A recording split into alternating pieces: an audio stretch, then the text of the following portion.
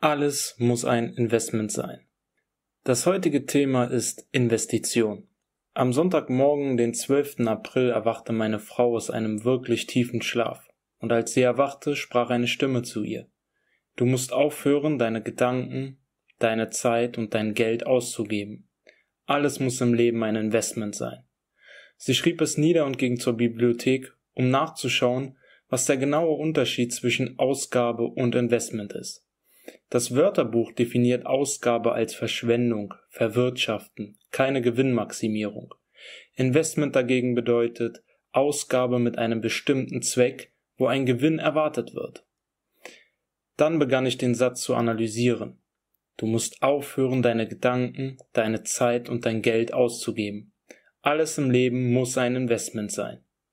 Als ich darüber nachdachte, erkannte ich, dass der entscheidende Moment im Hier und Jetzt liegt. Alles muss durch das Portal der Gegenwart passieren, und der Zustand, in dem ich im Hier und Jetzt verweile, beeinflusst nicht meine Vergangenheit, sondern meine Zukunft. Was ich im Hier und Jetzt mache, ist der entscheidende Faktor, wie es im Epheserbrief geschrieben steht. Alles aber, was bloßgestellt wird, das wird durchs Licht offenbar. Denn alles, was offenbar wird, ist Licht. Das Wort Licht bedeutet Bewusstsein, Deshalb manifestiert sich der Bewusstseinszustand, in dem ich beständig verweile. Eine Manifestation ist nicht mehr als ein Sichtbarwerden des Bewusstseinszustandes, in dem ich gegenwärtig verweile. In jedem Moment stellt sich die Frage, investiere oder verschwende ich? Die meisten Menschen verschwenden ihre Gedanken, weil sie morgens, mittags und abends in einem negativen Zustand leben, wo sie keinen Gewinn erwarten können. Wenn Sie stattdessen Ihre Gedanken investieren würden, dann hätten Sie am Ende des Tages einen Gewinn erwirtschaftet. Der religiöse Mensch investiert meistens am Sonntagmorgen. Während des Gebets erhebt er sich für einen Moment, und wenn er nicht kritisch gegenüber der Kirche ist, dann wird er von der Hymne, dem Orchester und den Gesängen getragen. Für diesen Moment investiert er, doch die restliche Woche verschwendet er. Nun, aus Erfahrung wissen wir, dass wenn wir unser gesamtes Geld in eine große Firma stecken, kann es wunderbar sein. Aber am Ende eines Jahres können sich die Konzernchefs dazu entscheiden, dass es Zeit für Umstrukturierungsmaßnahmen ist. Sie kürzen die Dividenden und wenn wir von der Dividende abhängig sind, obwohl es ein solides Unternehmen ist, dann müssen wir entweder etwas verkaufen oder uns Geld leihen, damit wir unseren finanziellen Verpflichtungen nachkommen können. Um diese Art von Investment geht es nicht sondern der vollkommenen Annahme, dass es so eintreffen wird, wie wir es definieren. Wenn du dich dazu entscheidest, in jedem Moment konstruktiv zu denken, indem du nichts akzeptierst, das nicht zur Erfüllung deiner Träume passt, egal was es ist, es könnte der deutlichste Gegenbeweis sein, dann, dann investierst du. Wenn du das machst, Ablehnung, Gleichgültigkeit, völlige Nichtannahme und nur das hörst und siehst, was du sehen und hören willst, dann ist es ein Investment. Es kommt nicht darauf an, was du siehst oder hörst, sondern was du für wahr hältst. Wenn du es als wahr annimmst, dann investierst du durch die Akzeptanz des neuen Bewusstseinszustandes. Diese Offenbarung, die durch meine Frau kam, ist die größte, die ich jemals hörte. Ich kann dir nicht sagen, was es für mich bedeutete, denn seitdem ich es hörte, bin ich mir mit dem gegenwärtigen Moment noch bewusster. Jeden Moment überlege ich, ob ich meine Gedanken, meine Zeit oder mein Geld verschwende oder investiere. Ich muss investieren. Zeit ist zu kostbar, um sie zu verschwenden. Die Zeit verschwindet nicht, sondern sie formt meine Zukunft, um mich entweder mit der Verschwendung zu konfrontieren oder mich mit dem Investment zu segnen. Wenn ich es für einen bestimmten Zweck investiere und einen Gewinn erwarte, dann erhalte ich diesen. Ein Investment in diesen gegenwärtigen Moment kann dir morgen deine Dividende bringen. Nun möchte ich dir eine Geschichte erzählen von Jimmy Fuller. Ich habe nicht mehr alle Details im Kopf, aber als ich die Geschichte erzählte, meinten die Zuhörer, dass er über ein großes Startkapital verfügt hätte müssen, damit er solch ein Vermögen machen konnte. Ich konnte die Behauptung weder bestätigen noch leugnen, denn sie hatten gesprochen, als ob sie es wüssten, und fast hätten sie mich überzeugt. Freitagnacht fragte ich ihn, ob er mir mehr Details erzählen könnte, wie er zu diesem Vermögen gekommen ist. Er sagte, als du vor vier Jahren hierher kamst, Neville, besuchte ich deinen Vortrag. Meine Frau hat mich gefragt, warum ich deinen Vortrag besuchen will.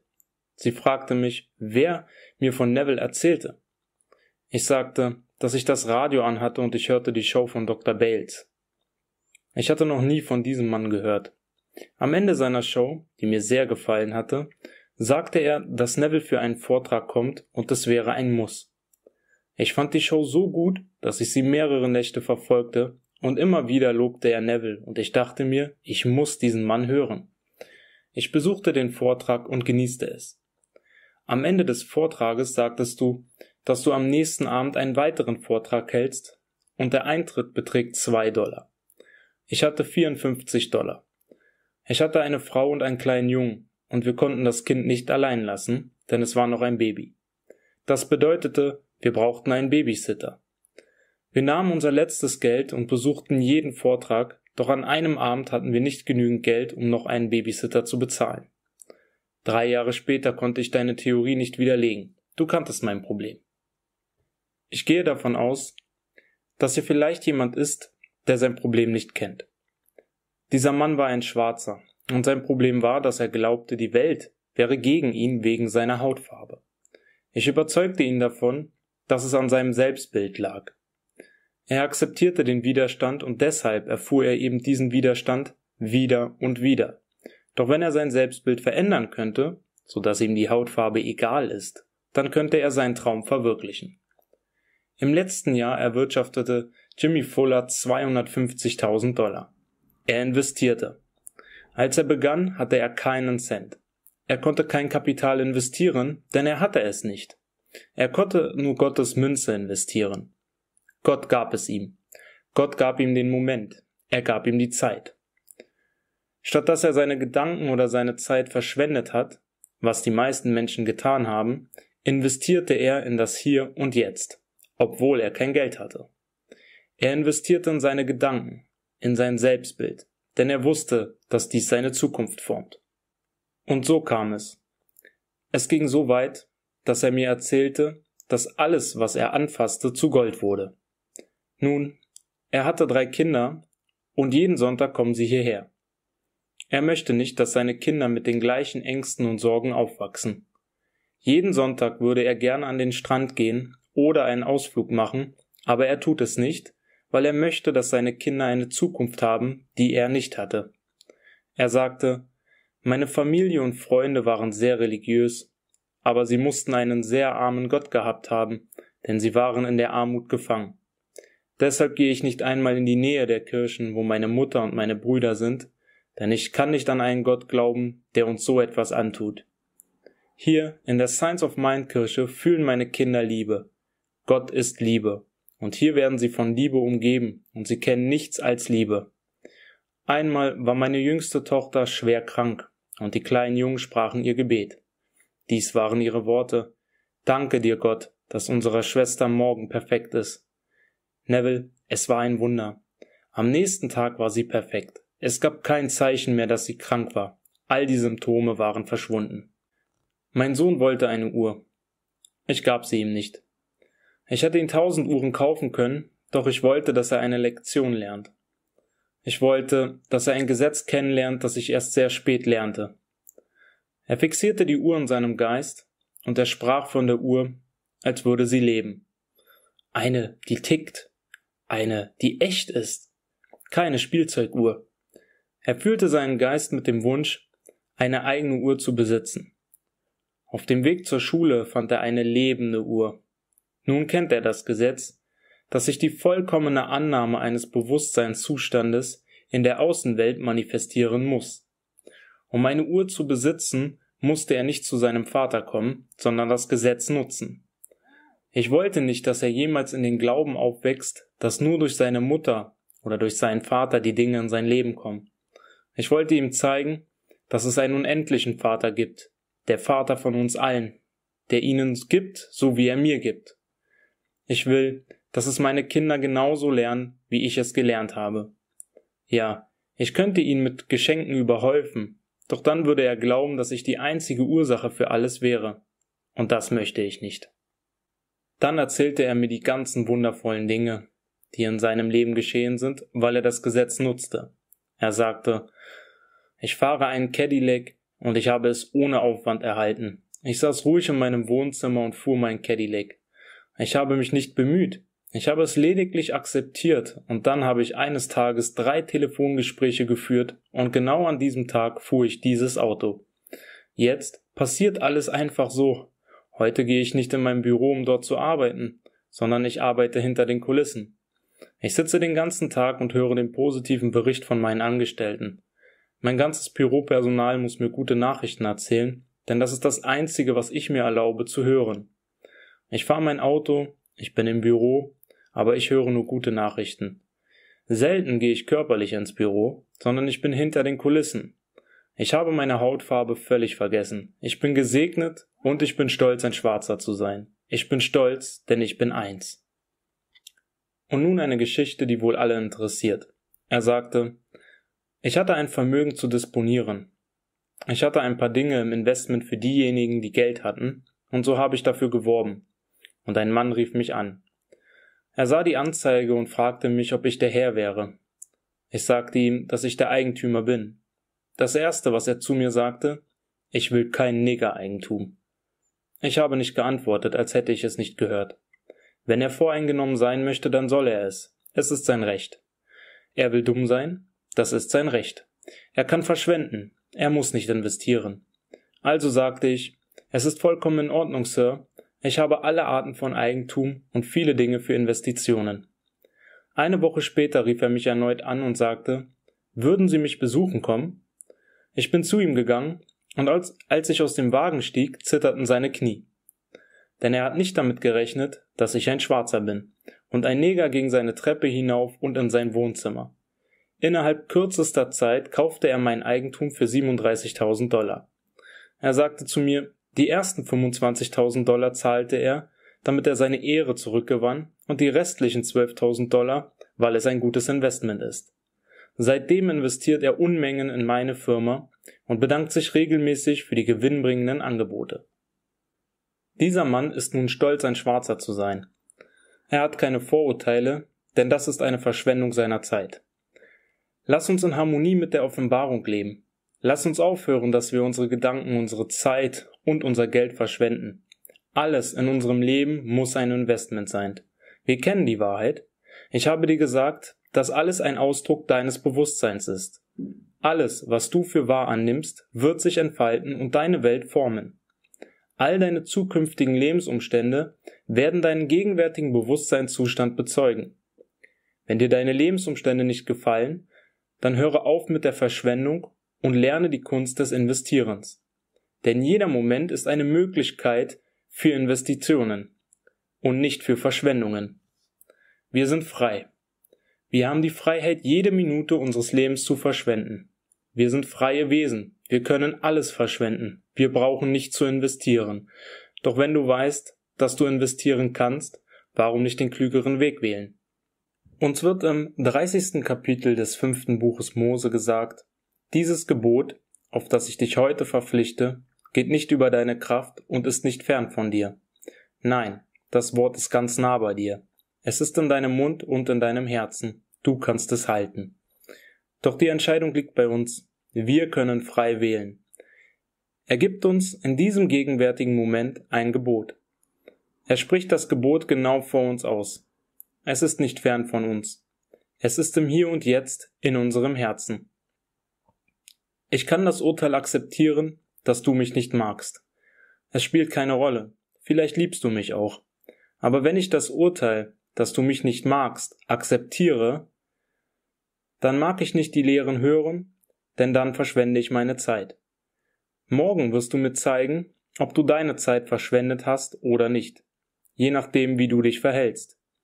Doch, falls du meine Lehren wertschätzt, weil du sie testest, dann würde ich keine Zweifel haben, dass du diese Lehre gewissenhaft umsetzt.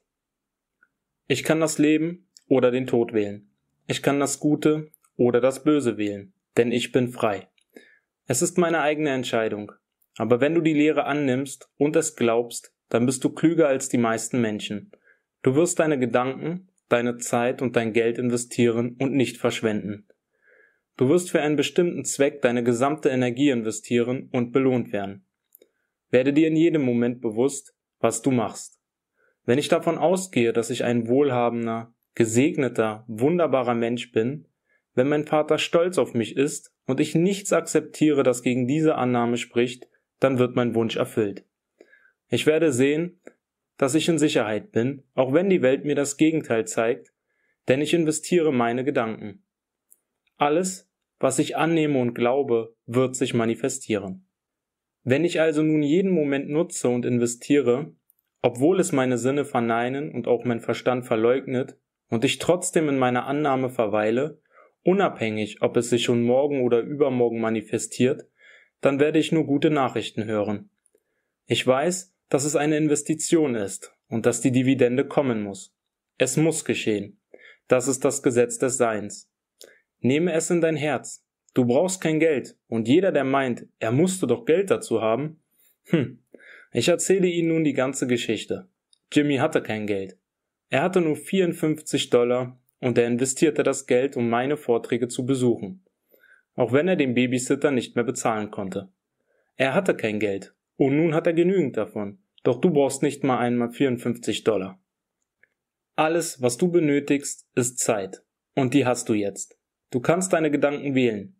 Also anstatt deine Zeit und deine Gedanken jetzt zu verschwenden, beginne sie zu investieren. Genau in diesem Moment, wo du diesen Vortrag hörst und dir sagst, dass du danach anfängst oder morgen oder übermorgen. Ich sage dir, beginne jetzt, in diesem Moment. Der Gedanke verschwindet nicht, sondern er manifestiert sich als unsere zukünftigen Lebensumstände. Das ist unser Moment, was wir hören und sehen, wie wir darauf reagieren. Das passiert alles im Hier und Jetzt und gibt meinen morgigen Tag vor. Deshalb wiederhole ich es. In der Bibel wird uns gesagt, ich bin die Tür und ich bin ist Gegenwart. Nicht, ich war die Tür oder ich werde die Tür sein. Ich bin die Tür. Ich bin die Wiederauferstehung. Was ich in der Gegenwart denke und fühle, verschwindet nicht einfach, sondern es bestimmt den Ausgang meiner Zukunft. Es muss meine zukünftige Gegenwart durchqueren und wird mich entweder mit Problemen konfrontieren oder mich erfüllen. Verschwende nicht, sondern investiere. Verweile in jedem Moment in deinem neuen Selbstbild und ich verspreche dir eine wunderschöne, gesunde und erfüllte Zukunft. Eine Frau kam heute zu mir und sagte mir, Neville, du hast es so klar und deutlich zusammengefasst, ich habe es noch nie so gesehen und du brachtest mir diese großartige Offenbarung, als du von dem Unterschied zwischen über das Ende nachdenken und vom Ende herausdenken zeigtest. Doch obwohl du es hervorgehoben hast, habe ich es noch nicht ganz verstanden. Okay. Ich werde es nochmal erklären. Ich sagte, wenn ein Mensch die Kunst des richtigen Denkens vom Ende aus erlernen würde, dann ist er der Meister seines Schicksals. Denn er definiert das Ende, er setzt sich ein Ziel und er fühlt sich in das Endergebnis hinein. Deshalb denkt er aus dem Ende heraus und nicht nur über das Ende nach. Die meisten Menschen definieren ihre Träume und schauen aus der Ferne darauf. Es bleibt ein entfernter Punkt in Raum und Zeit. Der kluge Mensch absorbiert den Bewusstseinszustand seines Verlangens, so dass er aus diesem Zustand herausdenkt. Er ist die Persönlichkeit, die er werden will. Ich gebe dir ein Beispiel. Ich stehe vor den Zuhörern, und wenn ich diesen Raum beschreiben würde, dann aus diesem Blickwinkel heraus, denn ich stehe auf der Bühne. Du sitzt im Publikum und siehst den Vortrag aus deinem Blickwinkel. Du siehst mich auf der Bühne. Wir sehen beide diesen Raum aber aus verschiedenen Blickwinkeln. Ich würde es aus meiner Sicht definieren und du aus deiner Sicht. Wenn ich aber ein Zuhörer sein möchte, dann würde ich davon ausgehen, dass ich dort sitze, wo du sitzt, und würde diesen Raum aus deiner Perspektive sehen. Ich würde die Bühne sehen und nicht das Publikum. Ich würde den Raum aus dieser Position beschreiben, aus diesem Bewusstseinszustand. Wenn diese beiden unterschiedlichen Sichtweisen für Sicherheit und Unsicherheit stehen würden, dann würde ich den Zustand der Sicherheit annehmen und in diesem Zustand verweilen. Und um diese Annahme zu belegen, würde ich meine Welt aus diesem neuen Blickwinkel beschreiben. Ich würde die Sicherheit erfüllen. Falls ich jedoch weiterhin das Gefühl der Unsicherheit in mir trage, dann habe ich es nicht geschafft, in dem neuen Bewusstseinszustand zu verweilen und ihn anzunehmen. Ich denke nicht vom Ende heraus, sondern ich denke lediglich über das Ende nach, ich bin in meinem Bewusstseinszustand der Unsicherheit und schaue aus der Ferne auf den Bewusstseinszustand der Sicherheit. Ich manifestiere nicht, was ich will, sondern was ich bin. Ich hoffe, es wird deutlich, weshalb es so wichtig ist, vom Ende herauszudenken, die Welt aus dem neuen Bewusstseinszustand zu sehen, das Ende perfekt zu definieren. Schau dir deine Welt an und setze dir ein Ziel und dann frage dich, wie wäre es, wenn es wahr wäre und ich im Hier und Jetzt den neuen Bewusstseinszustand verkörpere? Wie fühlt es sich an, zu wissen, dass es jetzt und hier so ist? Und als Antwort auf diese Frage entsteht ein Gefühl. Ein Gefühl, das mit dem Ende harmoniert. Lerne aus dem Ende herauszudenken, obwohl es deine Sinne, dein Verstand und alle anderen Menschen ablehnen. Verweile in dem neuen Bewusstseinszustand. Verweile in deinem perfekten Ende. Jetzt investierst du und es wird sich in der Zukunft manifestieren. Ich möchte noch einen weiteren Punkt klarstellen. Jimmy Fuller sagte mir, dass es der Auslöser seines Erfolgs war. Wenn die Handlung der Innenwelt mit der Handlung der Außenwelt übereinstimmt, dann werden wir unseren Wunsch realisieren. Wir haben zwei Seiten, den inneren Menschen und den äußeren Menschen. Wenn ich jetzt hier sitze und meinen Körper entspanne, dann stelle ich mir vor, was ich erleben werde, wenn mein Wunsch bereits erfüllt ist. Und dann wiederhole ich das Erlebnis immer und immer wieder, bis meine Innenwelt mit der Außenwelt harmoniert. Denn nur dann kann sich der Wunsch manifestieren. Wenn deine Innenwelt ein Abbild deiner imaginativen Außenwelt wird, dann verspreche ich dir, dass es in der Realität eintreffen wird. Keine Macht kann es aufhalten, wenn sich beide Welten vereinigen. Doch lasse es immer aus der Innenwelt geschehen. Lasse nicht zu, dass die Außenwelt deine Innenwelt formt, sondern erschaffe dir deine eigene imaginative Außenwelt, erlebe es und verschmelze damit. Und das üben wir nun. Immer wenn wir unsere Vorstellungskraft gezielt nutzen, dann spricht Gott zu uns. Wir sitzen in der Dunkelheit und entspannen vollkommen.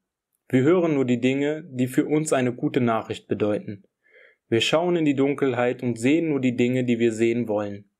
Wir investieren in diesen zwei Minuten. Wir nehmen diese zwei Minuten und investieren unsere Gedanken und unsere Zeit für diesen Moment. Wenn das Licht gedimmt wird, dann schaue und höre so, wie du hören und sehen würdest, wenn dein Wunsch bereits erfüllt ist. Damit erfüllen wir die Offenbarung, die meine Frau gehört hatte, als eine Stimme zu ihr sagte, du musst aufhören, deine Zeit, deine Gedanken und dein Geld zu verschwenden. Alles im Leben muss ein Investment sein.